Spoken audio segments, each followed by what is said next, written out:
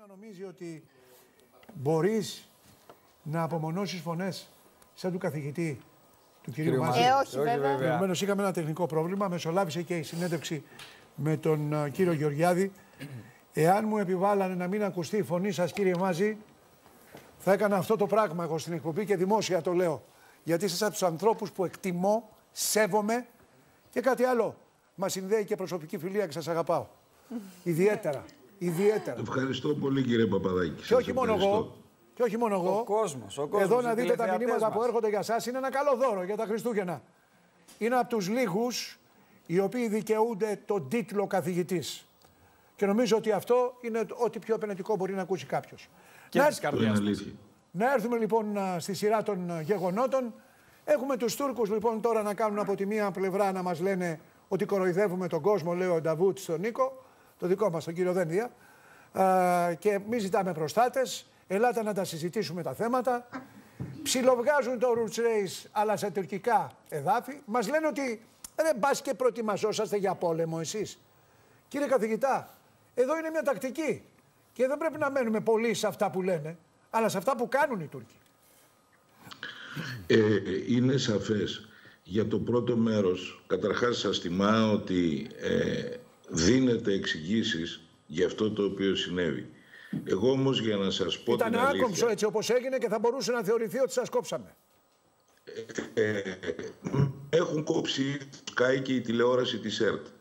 Ε, η τηλεόραση της ΕΡΤ με είχε κομμένο και επί Σιριζανέλ. Οπότε είναι ένα ε, φαινόμενο το οποίο το έχω συνηθίσει.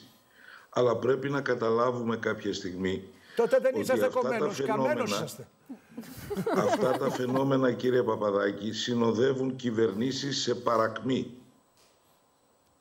Δεν μπορείς να φημώσεις την, ε, τώρα, την εποχή της τεχνολογίας, δεν μπορείς να φημώσεις τη φωνή των διανοουμένων.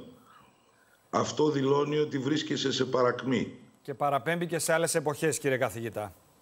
Ακριβώς. Λοιπόν, σε ό,τι αφορά τώρα την Τουρκία, ε, εκείνο το οποίο λοιπόν η Τουρκία κάνει, ανεζήτησε τα σκάφη αυτά στο χάρτη, είναι όντως το λιμάνι της Ατάλειας. Ε, το Μπαρμπαρός επίσης αυτή τη στιγμή πρέπει να πλησιάζει προς τα εκεί. Ε, χθες που το κοίταξα ήταν πάνω από τη Βόρειο Κύπρο με κατεύθυνση προς την Ατάλεια.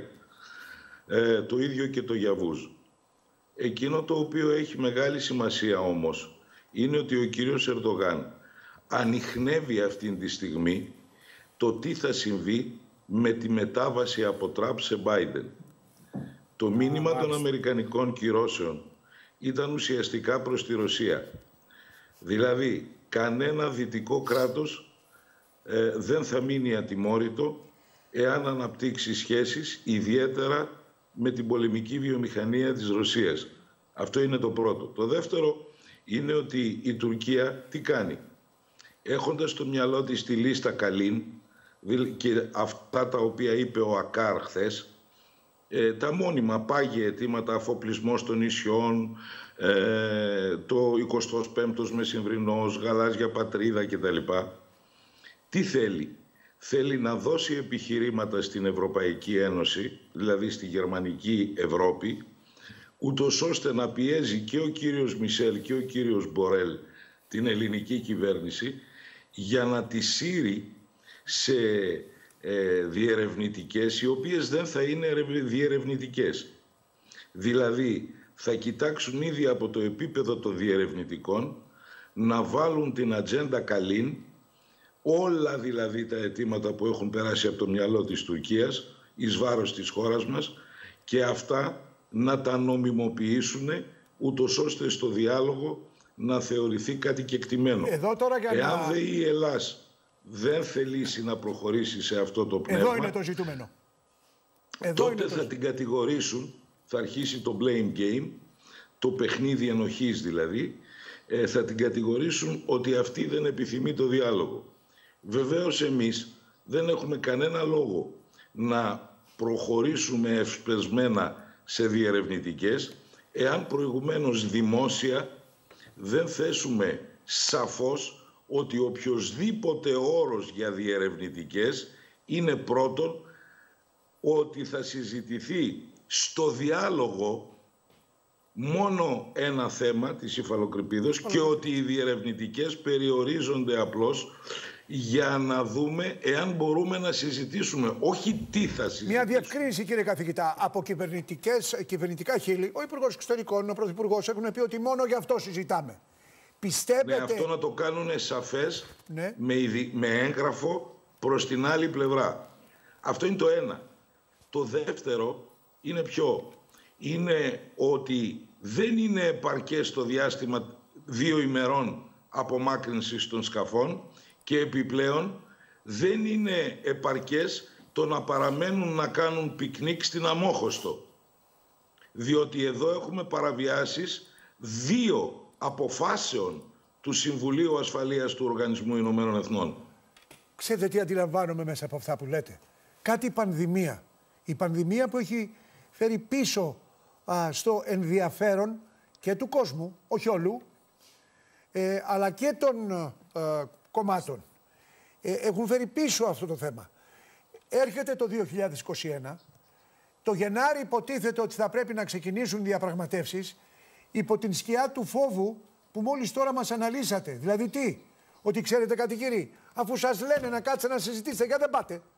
Δηλαδή μην ασκηθεί πίεση από πλευράς Ευρωπαϊκής Ένωσης, γιατί δεν συζητάμε τους Τούρκους; Αυτό λέω ακριβώς, ότι γι' αυτό το λόγο θα πρέπει ούρμπι ετόρμπι με διεπισήμου διπλωματική οδού να ξεκαθαρίσουμε ότι οι διερευνητικές δεν αποτελούν τη φάση της διαπραγμάτευσης και οι διερευνητικές είναι τελείως τεχνικές. Πρώτον. Δεύτερον, ότι επαρκές διάστημα, το οποίο πρέπει να είναι τουλάχιστον δύο μήνες ηρεμίας, για να μπορέσει να δημιουργηθεί το κατάλληλο κλίμα, ε, δεν, αν δεν περάσει αυτό το διάστημα των δύο μηνών τουλάχιστον, δεν μπορούμε να πάμε ούτε σε διερευνητικές.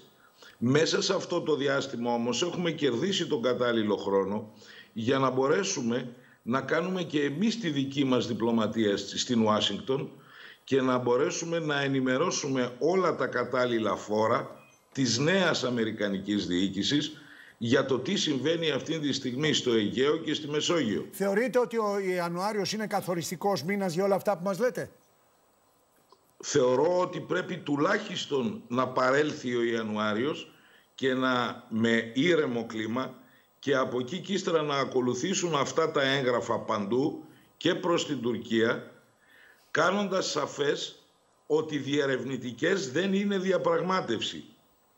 Ένα, άλλο διαπραγμάτευση, δύο. άλλο διερευνητικές. Σωστά το θέτε. Ακριβώς. Και αρκεί να μην τραβάει και το σκηνή στα άκρα η Τουρκία φυσικά. Ναι, Ναι, όταν με, το τραβάει στα άκρα το σκηνή η με Τουρκία... αβάντα ευρωπαϊκή όμως σου λέει. μα Με βέβαια. ευρωπαϊκή αβάντα σου λέει.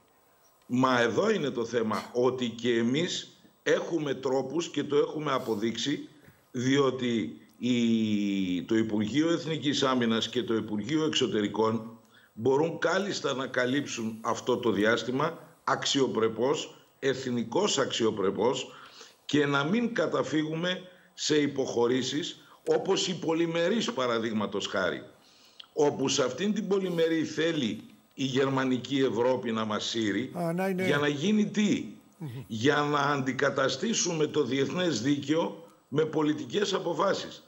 Αυτά κύριε Παπαδάκη μου θυμίζουν κάτι συνδικαλιστές της εποχής μου όταν ήμουν και εγώ νέος που μαζευόμασταν για να ψηφίσουμε αν θα ακολουθήσουμε τον νόμο ή όχι. Σας ευχαριστούμε πολύ Κύριε κύριε καθηγητά, Σας όπως ευχαριστούμε πάρα πάντα, πολύ. εύστοχος στην καρδιά του προβλήματος, να σας ευχαριστήσουμε πολύ. Ε, δεν ξέρω αν θα σας αποχαιρετήσουμε για το 20, γιατί την άλλη εβδομάδα θα θέλαμε να έχουμε άλλη μία επαφή μαζί σας. Να πούμε καλά Χριστούγεννα. Κάθε φορά που έχουμε επαφή μαζί σας, γινο- γινόμαστε πιο πλούσιοι σε γνώση. Καλά Να Χριστούγεννα είστε σας. καλά είστε καλά. και Με δική υγεία. μου επιθυμία. Να είστε Χρόνια σας καλά. πολλά. Χρόνια σας Την πολλά. αγάπη Καλές μας, την γιορτές. αγάπη Γεια μας. σας. Με υγεία.